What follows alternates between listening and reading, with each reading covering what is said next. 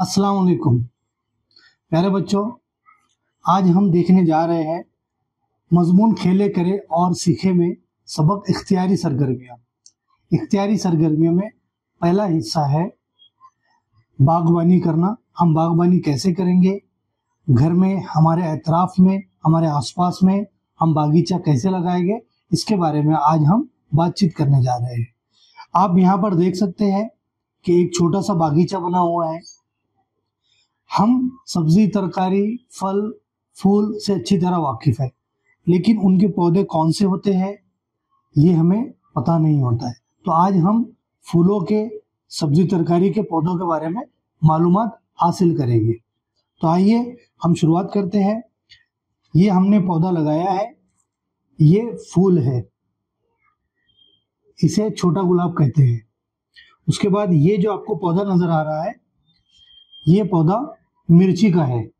मिर्ची, आपको पता है कि खाने में टेस्ट लाने के लिए हम डालते हैं।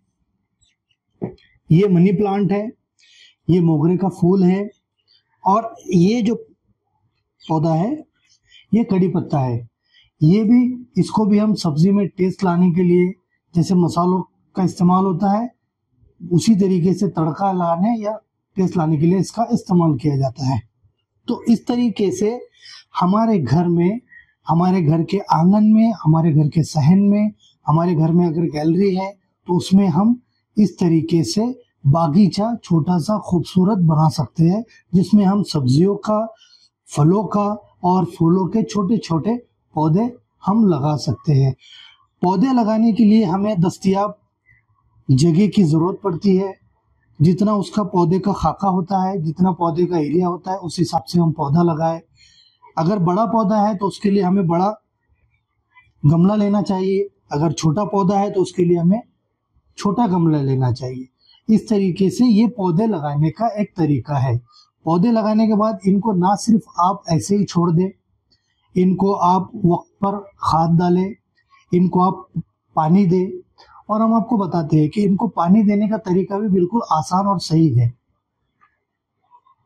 जैसे कि आप देख सकते हैं, ये फुहारा है।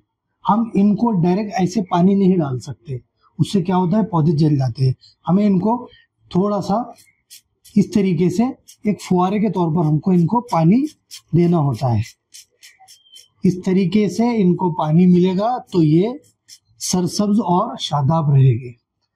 तो प्यारे बच्चों, आप सबको समझ में आया कि हम हमारे घर की बागवानी कैसे करते हैं। उसके अलावा सजावट के तौर पर भी हम पौधे लगा सकते हैं। जैसे आप देख रहे हैं, हमने मनी प्लांट लगाया है। एक कांच की बोतल है।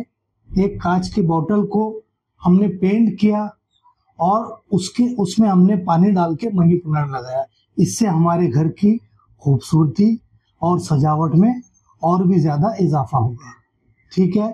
बहुत बहुत शुक्रिया।